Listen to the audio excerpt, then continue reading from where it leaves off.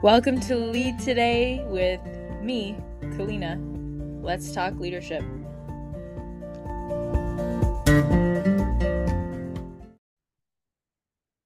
Hello and welcome back. It feels funny to be doing an episode without talking about my book.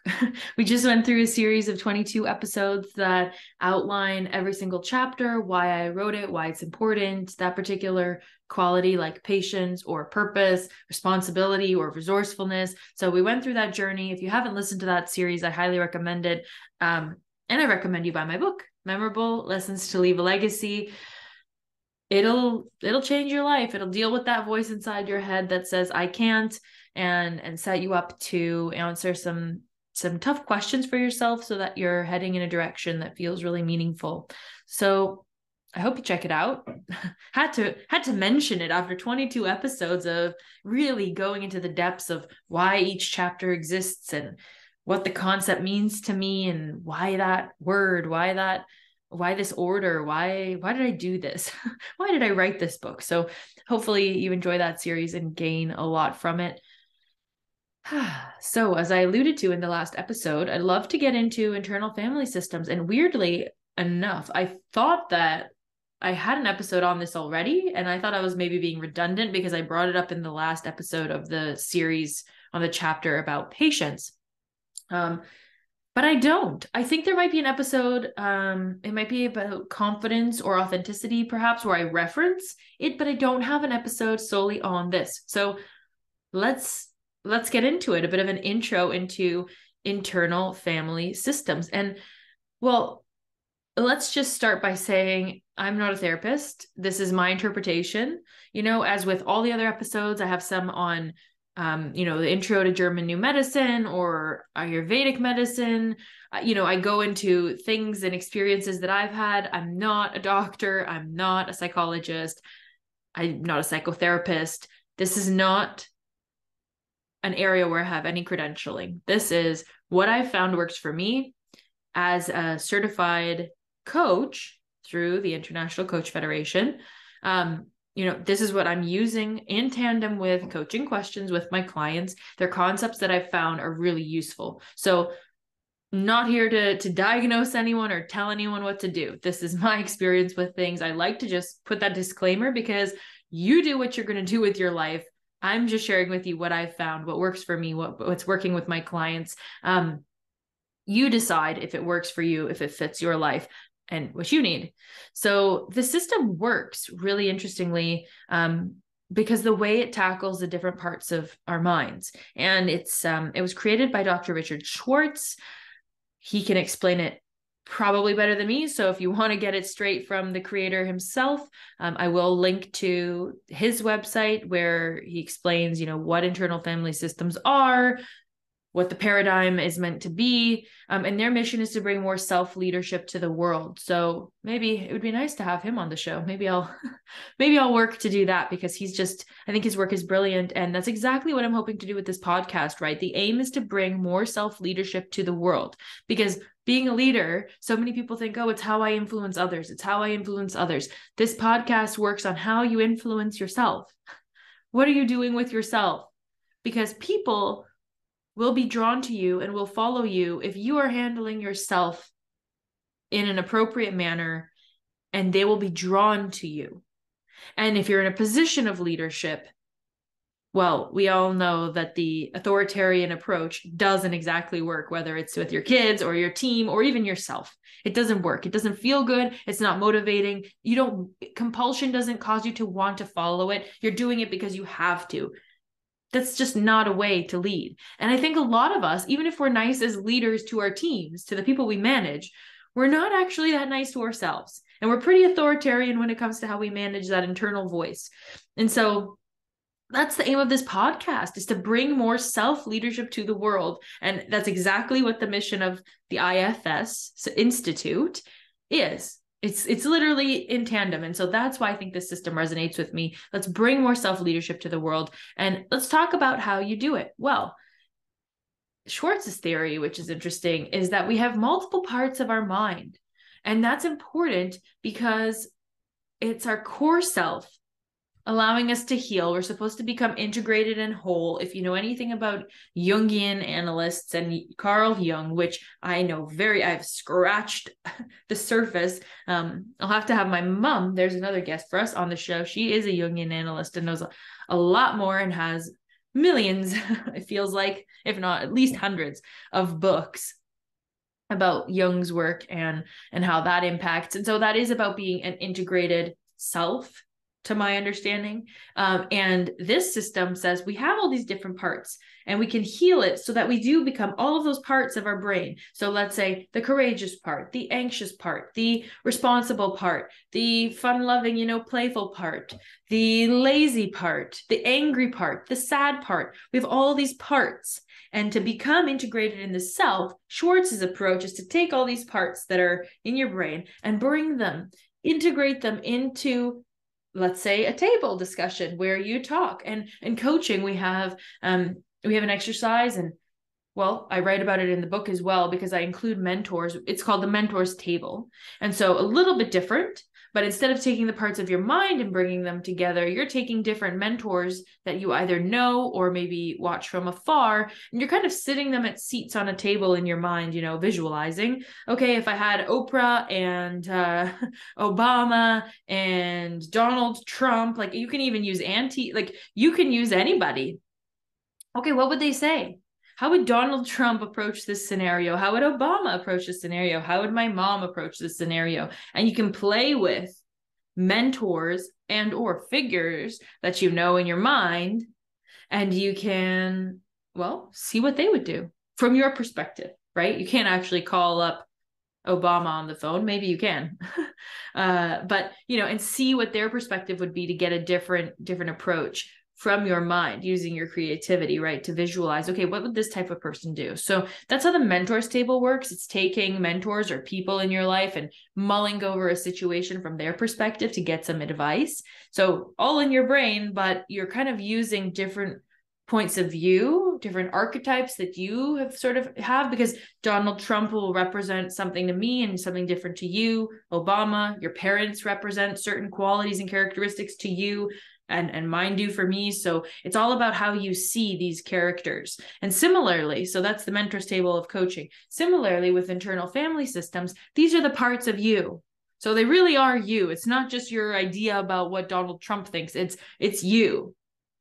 And it's the part of you that's anxious. It's the part of you that's feeling like an imposter. It's the part of you that feels scared. You know, these are all parts that we're trying to to integrate and I think it's so brilliant because essentially the way I use these skills, okay? And and this is again this is scratching the surface of IFS. I'm not a trained, you know, I am an IFS trainer, so this is purely my take Okay. But I use this with clients when they're feeling some of these things like anxious or they want confidence. I mean, those two are pretty much the biggest things I think people come to me about.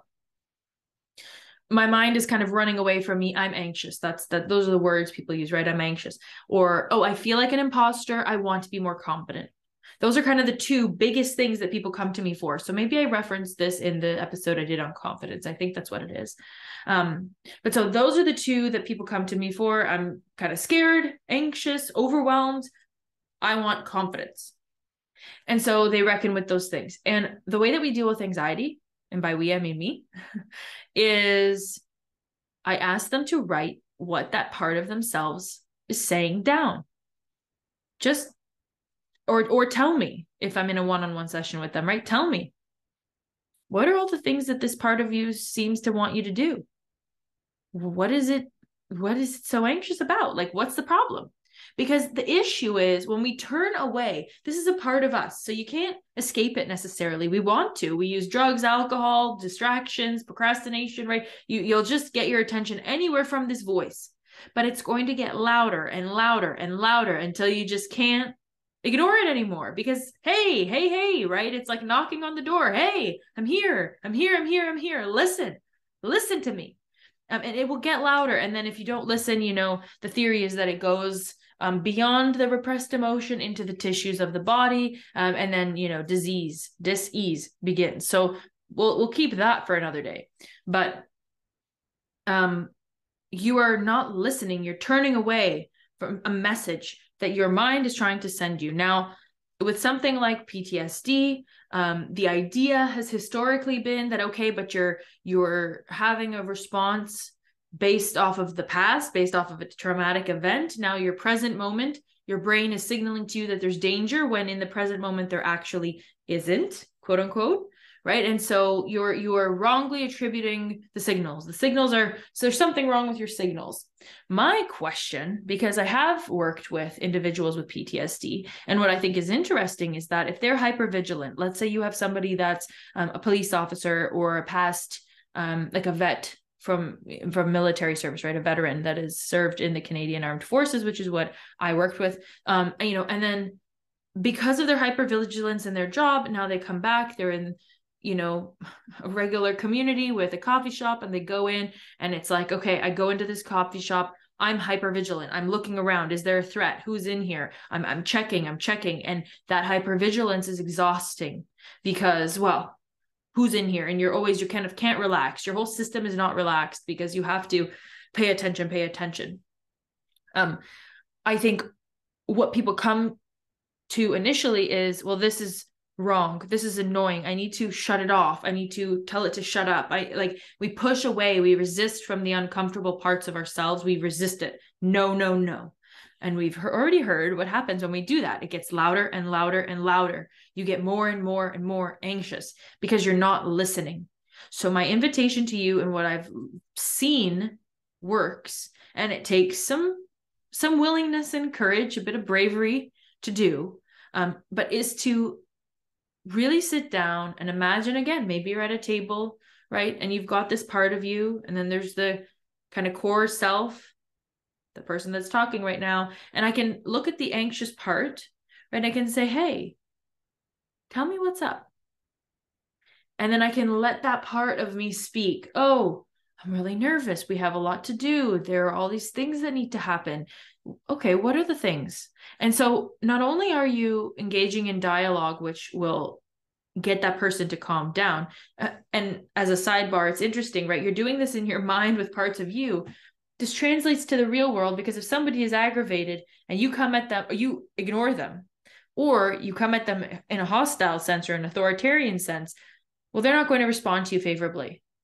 And that's where it's interesting. The way you treat yourself, as I said at the beginning of the episode, is in direct relation to how you treat others. Because if you're treating yourself that way, if that's how you cope with anxious thinking and you shut it down or you you block it out, you're harsh with it, you tell it no, well then how are you probably dealing with other people under pressure? You're probably reverting to that approach too.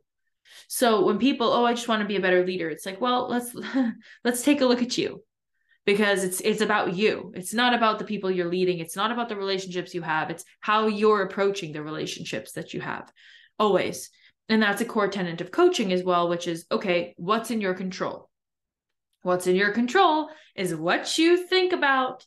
Maybe not the thoughts come in right? You might not have control over the thoughts that are coming in but you certainly have control to direct them. You're the air traffic controller. These thoughts are coming in. You can choose which ones to focus on at any given point in time, and then you can direct them to the correct zone, right? Okay, wait, uh, I need to get groceries. Oh, that's not a thought that I need to be having right now as I'm doing this podcast. Okay, let me write it down. I'll deal with it later. So I've dealt with the part of me that wants to get things done, right? But I'm also staying present with you. I'm not ignoring anything. I'm getting it out of my head but I'm still here with you. So I'm directing. I can direct thoughts as they come up, right? Oh, does my dog need anything? Okay, let me check on him after I'm done recording this. You know, so we attend to this, we do this all unconsciously. The idea is sort of bringing this into the conscious light, right? Bringing it into you actually thinking, oh, yeah, I do direct my thoughts.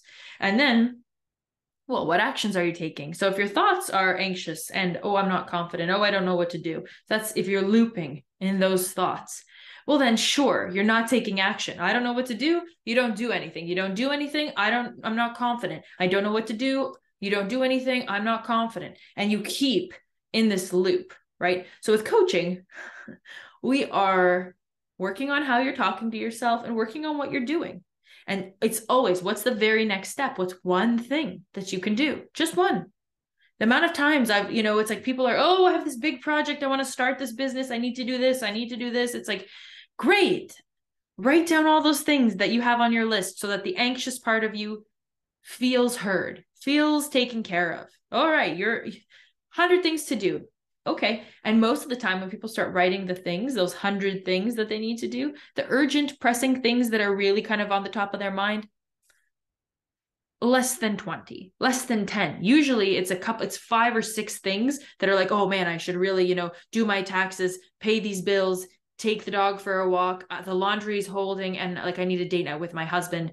So it's you know there are a couple of things that really feel like they need to attend to maybe five to ten. And then there are another 10 that are just sort of oh i should do these things. And they're kind of just creating a bit of turmoil under the surface there that like oh but there's more to do. Okay. And then once they have those 20 things maybe 25, maybe there are actually 100. Okay. But once you have them out, well, then you can sort them and categorize them in the same way that you're doing with your thoughts, you can do with your tasks. And then it's like, well, but okay, so now I have these 100 things to do, and now I see it on a page.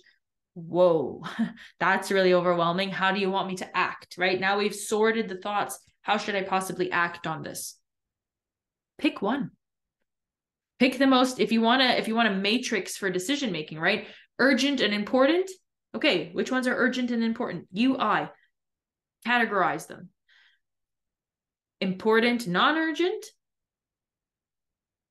urgent not important so i don't know take my dog for a walk like it's urgent he needs to go every day right at certain times or at least once a day let's say it's relatively important but it's not like life or death if right now i do this but so, and then not important, not urgent. And so maybe out of those 100 tasks, 20 of them are just not important, not urgent.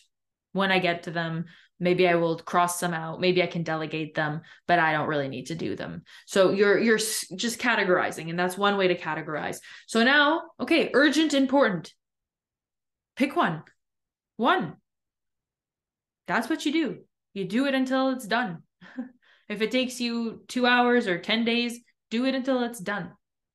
Then pick the next one. Like that's how you deal with overwhelm, right? Overwhelm is switching from one item to the next item and none of them are getting done. And the mountain is so big and oh, and you work yourself up into this frenzy. So now we're working you down into the details, into the specifics, and then into one pointedness because that really helps. A, a one pointed mind. Okay, what's the one thing you need to get done right now? What, okay, you're in a meeting, be in the meeting okay, are you not really in the meeting? Then do you have to be there? Why are you in a meeting if you're doing other things during the meeting? You shouldn't be in that meeting. So if you don't need to be in the meeting, do something about that. Don't show up. Why are you why are you here if you're not here? Um, and I talk about being present in the chapter on patience, so you can go there if you want to hear more about that. But let's let's stick with internal family systems. So okay, so now you've reckoned with your thoughts, you're doing the very next thing. I mean, in reality that fixes a lot of people's issues but maybe it's like no no i'm scared. Okay so the anxious part of you is now calmed down because you have all the things kind of out in the open.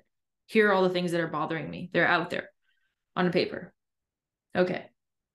Oh that means i have to talk to my talk to my friend because we have a, a difficult relationship. That that's what would fix you know oh angry with Joan. It's like, okay, so now I've got to fix that. Oh, that's uncomfortable. I don't like that.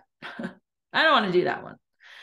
And, and so then the action part, you don't want to do that. So then it stays on the list. But then your anxious part of you is saying, no, no, no, you need to do that. It's important. It's important. Mm, that's uncomfortable. I don't want to do that. And so the anxious part of you needs to talk to, let's say, the scared part of you needs to be a conversation. Maybe you talk to the scared part. Okay what what could go wrong here? Like what are you what are you scared about? Well they could reject me. They could say i don't want to fix this relationship. I don't want to do this with you. They might not even answer my text message. They could yell at me. Well i'm at fault so saying sorry is hard. I don't want to say sorry. Okay you know and so you kind of coax that part of you into well, okay, here's here are all the things I'm scared of. And okay, which one of those fears really are well, they're all valid, right? But which one of those fears am I willing to overcome? Like, okay, I hear them. Which one would you be willing to take on. Give it a try. Well, okay, I guess, you know, we could text and I can, that I can do. And then maybe you bring in the courageous or the brave part of yourself that says, yeah, you know what, we can do this. Like, okay, yeah, let's tackle this one thing. Like, I'll, you know, I'll take the lead. I'll take the driver's seat here and like, I'll, I'll help you send the text. You know, and if the scared part of you is really, really debilitating, which I've I've seen, right? It's like, nope, can't do it. Can't do that. You've got to be gentle with this part of you. It's scared. I, you know, if you have a little child that's scared, I mean, you can pull it and okay, you're going swimming and pull it and you can throw it, you throw the child in the pool and see what happens. And you can do that. You can force yourself. But the scared part of you needs needs care, needs attention, needs a gentle hand. And so, you know, the idea is and you might not have received this right as a child. This might not come naturally to you. This could be really difficult. And pair like i totally get that. You know as a kid it wasn't necessarily gentle all the time. It was like figure it out. Do it. Come on. Like push push push you know? I definitely grew up in that type of environment and it's useful in some ways because the courageous part of me is very pronounced. I can push through. I can I can close the scared part of me and just push with the courageous part and go through to the finish line of something. That's one way and it works. And that's, you can do that. But you're leaving the scared part of you behind. You're leaving the anxious part of you behind. You're leaving, uh, in the PTSD example, the diligent part of you behind in a sense and saying, oh, you're just a nuisance to me. And when you turn different parts of, like, if you're turning away from different parts of yourself, my understanding and, and what I've come to see is that either they get louder, louder until you have to listen, or they sort of start decaying and dying in a way. You know, they feel unseen. And it's almost like then you're not integrated because right you've you've said to all these negative quote unquote traits the anxious one the scared one the lazy one you've said you are so annoying to deal with. I don't like you. You're making my life hell. Get out of here. Right. And you and you exile them. And so in internal family systems, you have the exiled parts of you. Um, and when you've exiled a part of you, well, that doesn't feel nice. I mean, just just if you think about it as like a friend, right? If your friend tells you like, okay, you're exiled, I'm never speaking to you again, you would not be so happy about that. And you do die off in a sense, right? And so, well, hopefully you can kind of bring that part of you back and say, okay, let me, you know, come back. It's okay. I want to hear what you have to say. Maybe, hopefully, you can get to that point. Maybe you can't. Maybe you really can't. And it's like, then maybe you want some support because if if you've turned away from that part and you've isolated it so much from your core self right that essence well then you might want to talk with someone to bring that exiled back. Because if you exile somebody there's pain right? And and it's vulnerable. It's definitely vulnerable if you know the the inadequate or I'm too much or there's shame associated or like real anger and rage, like all of that is very vulnerable because it it makes you feel out of control. It's destabilizing. So those painful emotions that have been kind of tucked away, right? You've said, no, no, I'm, you know, you're you're scared, you're annoying, right? Grief is another one when you lose someone or you feel that sense of grief over um I think dashed expectations. You can also feel a sense of grief, you know, something doesn't come through. All that's put in a box. You might want some help to get it out of the box. And then there are these other parts, right, that kind of jump in. So that part that says, just get it done, you know, come on, you have to finish it, do it. um, that's the manager they're manager parts of yourself and so those kinds of dialogues in your mind those seats at the table the overachiever the pessimist the planner um, the people pleaser. Oh, I said that, didn't I? Did I? The caretaker, like a rescuer. Um, if you're very critical of yourself, which will obviously feed into perfectionism, like those ones are all sort of like they're managing so that you feel stable, so you don't get hurt, so that the scared, you know, the scared, full, filled with shame, angry, um, grief oriented part, like that's just out of the picture. These parts of you they're going to take care of you. They're going to manage the situation right? And so their their motto is never again. Like this is never going to happen again. I'm not going to let you know myself feel shame i'm going to keep myself safe. And so they have a role right? And if that part of you is really really strong where um you allow it to run the show because of your past hurt okay right? Maybe you have to have another conversation. So here we have this table of different managers and exiles and the exiles are not even at the table because they're like hiding in the metaphorical bedroom or you know attic of your mind. They're hiding so you have to bring them out gently and, and invite them to the table look them in the eye maybe have a discussion with that part of you that's really really angry or feels dependent or feels a lot of shame. If you can bring those to the forefront if you can write about them okay but you're going to have to be willing to look at the situation that brought about them to be exiled from the table of your mind right? Um and so again maybe you work with someone on that. Maybe that's not something you do alone. But if you're willing to confront it it can be big big useful work. Why do i feel so much shame? Why do i feel you know like i'm too much for people or i'm not good enough? Like what what's up? And maybe you can kind of write that out. Why do i keep accepting suboptimal treatment?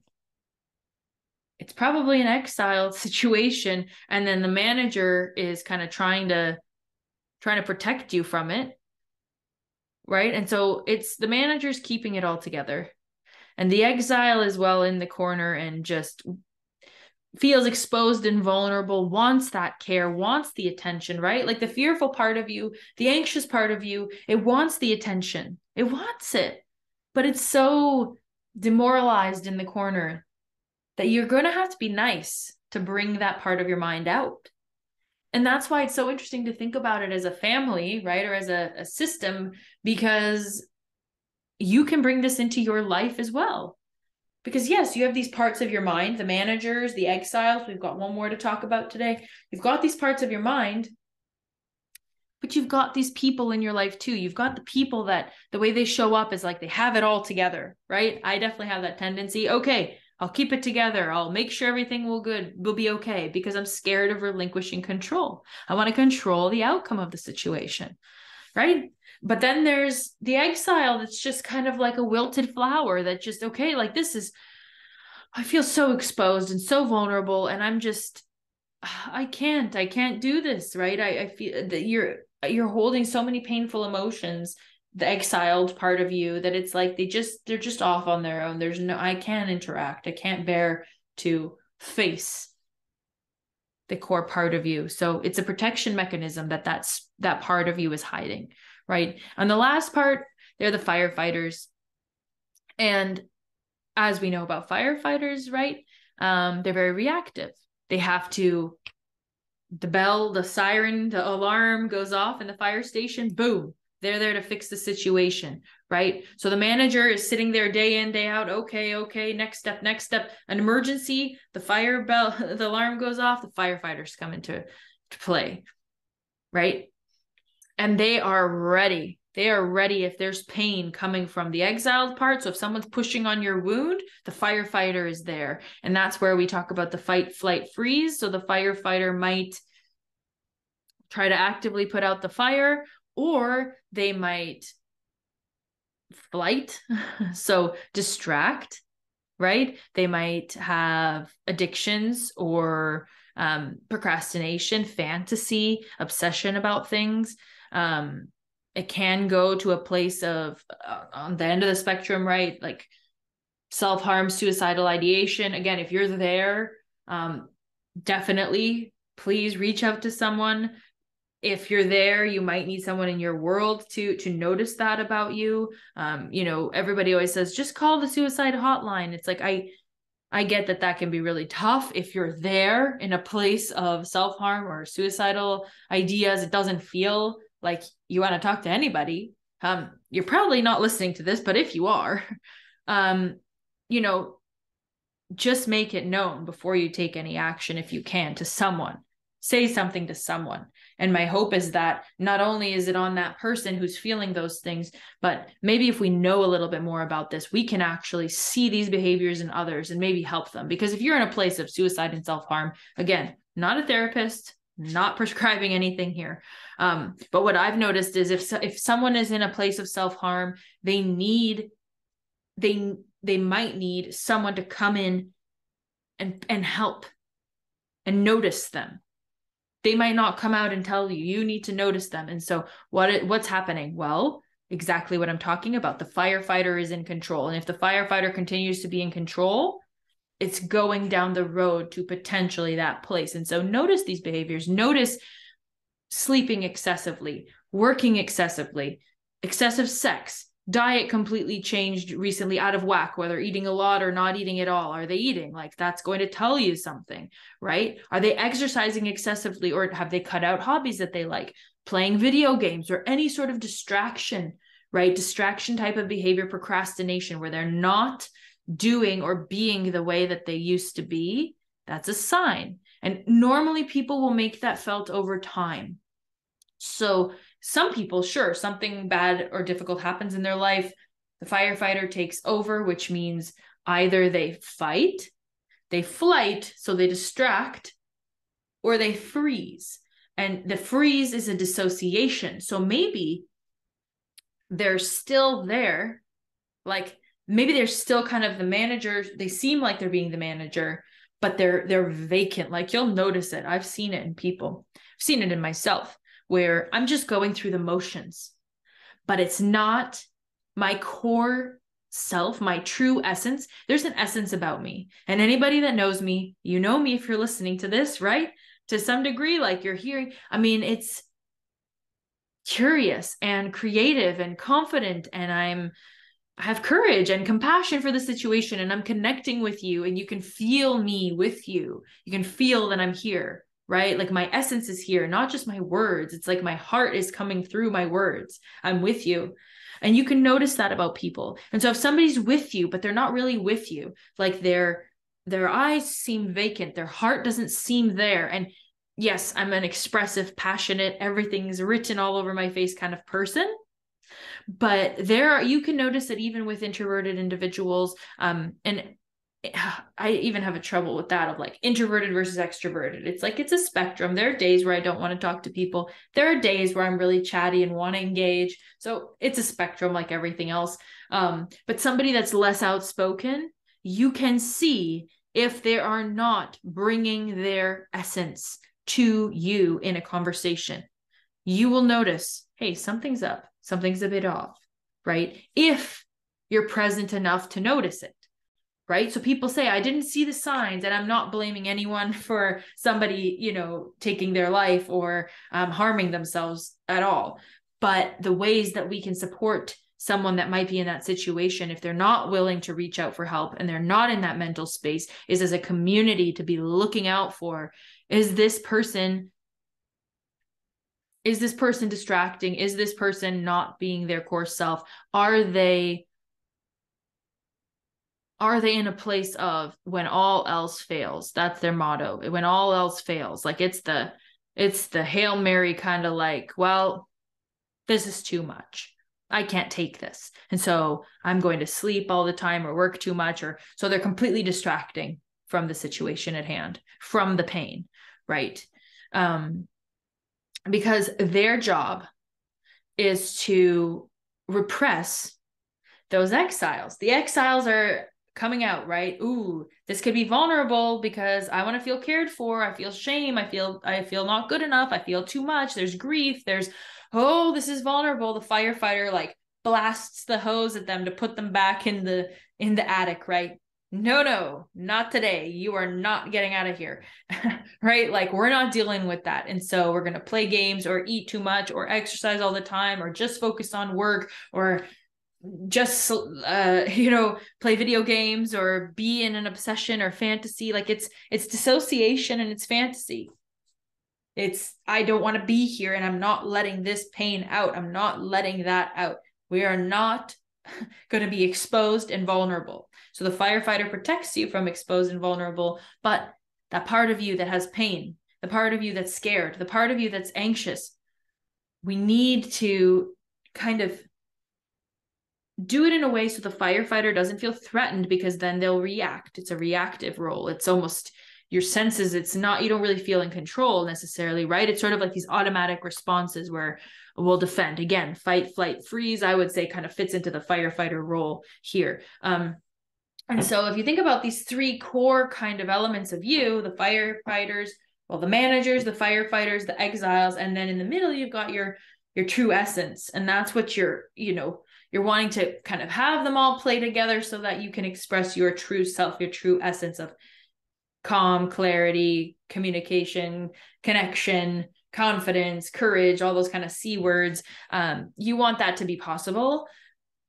The exiles want to be cared for. And if you can, again, work with someone or talk with them and give them a seat at the table, which will be potentially difficult work, but if you're willing to do that, well then they won't be exiled anymore right you're holding a light to you're you're turning the light on in the attic. You're opening the door. You're letting that stuff come to to the light and letting them see the light of day in your mind so to speak. Um and so i i love the way that this is represented.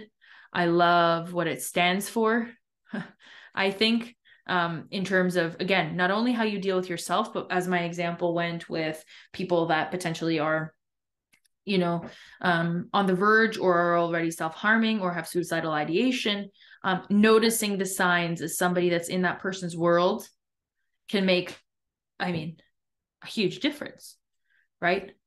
So I think we've we've gone down the rabbit hole a little bit. Um, there are different frameworks under each of these as well. So let's say um, the exiles we talk about our therapists will talk about you know your past self and how people can be kind of stuck in a certain age that's kind of an exile where if something really hard happened when you were 7 or 4 or 13 that part of you had pain you know? And it's usually childhood to teenage years which is interesting right? Because other types of therapy will look at like childhood trauma and wounds and the repression. Um, but so those parts of you well they want to be nurtured and acknowledged and reassured. And so in the tool i gave you or the way that you talk yourself through let's say the anxiety or the fear of acting right? Those those are coming from another place with coaching. Another big thing right? Coaching we don't really focus on the past. We look at where are you today and where do you want to go? And so i work with internal family systems in just my own way with the insights i've generated from researching it. I work with it by helping people to change to to hear that voice that's happening now to hear it. Okay what does it need? Reassure it acknowledge it and then be able to take some different actions because they have calmed that voice. Now if you want to actually go back and say okay what happened? What what are these painful feelings and memories? Maybe they're traumatic memories or experiences that have happened. What happened? Like i want to really look at this. That's kind of where therapy goes into play right? Because coaching we're in the present moment and future oriented. Where are you? Where would you like to go? Let's take steps toward that. Therapists are okay, what happened when you were seven? What happened when you were 14? They're dealing with the exiles. Okay. So I don't really deal with the exiles in in a way that let's say a Jungian analyst who deals with dreams, dreams are actually often bringing out what's in your conscious mind.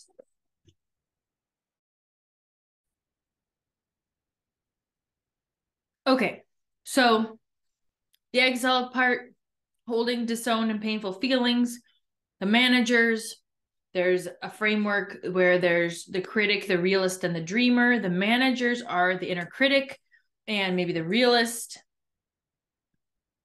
The firefighter is the dreamer, right? Because you're kind of in fantasy land, maybe. Depends, right? Visioning is different from like dreamer of being in a fantasy and not being within reality. But I think um, on the manager front, you have the inner critic and the realist, maybe a bit of a workaholic, right? You're sort of they're suppressing and containing the exiled parts, um, and they're focused on the daily system, right? Keeping things in order. Um, so they're trying to keep, well, they're trying to keep you out of the extremes.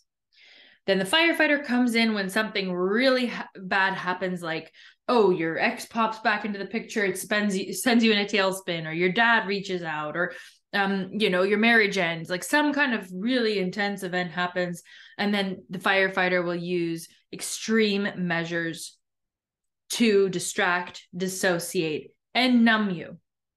Right. So the exiles are like, hey, this is really triggering. And the firefighters, like I said, blast them into the back into the closet. So that's sort of what you're dealing with. And then, well, and then you've got the core self, right? So that adult part of you, I've told you, curious, compassionate, confident. Um, and well, the whole point, I suppose, is to be able to take the core p- part of yourself, that core self, and then allow it to create inner harmony amongst the parts, right? So that the system is not hijacked by one part or the other going into the driver's seat, but rather the self moderates those parts, which is what I've said, right? Which is when the anxious part of you comes and says, I have all these concerns. The core self is sitting there saying, okay, let me hear out those concerns. Let's think like maybe a little bit kind of wild, wise elder sort of thing. It's the adult in you, right? The adult wise elder saying, okay, let me hear out the exiled part. Let me let me hear out the manager and which is the that inner critic. Let's let's talk about this. And then you can create inner harmony to reduce the kind of battle that's going on in your mind so that you can allow that self leadership and wisdom to shine through because you're integrated. Those parts are integrated. If they're if they're polarized they're not integrated right so we're bringing the anxious nervous courageous critic um the dissociated or fantasy, the person that just wants to watch Netflix all the time or play video games. Let's bring them all to the table and talk about this. And the core self is sort of like the moderator. And the more you can bring these parts of you to the table, so to speak, and have them work in harmony with each other, the idea is then you are one with the parts of you. And that's harmonious. When when things are working in line, there's harmony. I'm doing this symbol if you're watching and I it's funny a lot of people do this but it's it's this kind of alignment we, when we bring left and right into the center we're aligning um, and so you're aligning the anxious fearful the courageous the just do it part of you the critic oh this will never work you're bringing all those parts sitting them at the table and saying okay what do you have to say when you've heard them all out and they're all at least feeling heard acknowledged seen then the core self, the part of you that's calm, collected, you know, wise, can say, okay, I have all the information at hand based on all of the worries, concerns, potential pitfalls, benefits, um, the fun of this, the challenge of this. Okay, got all the parts of myself in order. This is what we're going to do. And then, as an aligned person, all the people are in the bus, you can move forward with your life. And so, when these parts of you are out of whack and they're pulling at each other, that's when you feel frazzled. That's when you lack maybe motivation or you feel like you're going in the same circle perpetually. So I love the way that the system is represented. Hopefully, I've done a good job of verbally explaining this. Um, I'll put the link to the site. There's some great images and things that really explain this in detail. So if this interests you, um, you can look at the site, you can do some research of your own, or you can absolutely work with somebody that is actually trained in this method, which I'm not. I'm simply explaining to you the 101 and how I have used little bits and pieces of this within my coaching because, again, I'm going from today to tomorrow with people, getting clear on their vision and walking them toward that. Therapists are going to deal with the exiles and the past parts of you, but I'm working on creating that harmony today with the different parts of your mind so that you can move forward in your life. So that's where I sit. Um, I use it in sessions to create that inner harmony, to acknowledge and see maybe the repressed parts of the person and have them heard and then change the actions that they're taking to take into account those parts of themselves that feel like they are being exiled right um so that's where i'm working and that's that's how i bring this into my coaching practice. I hope it's been useful. Thank you so much for listening. I'll see you next time and take good care until then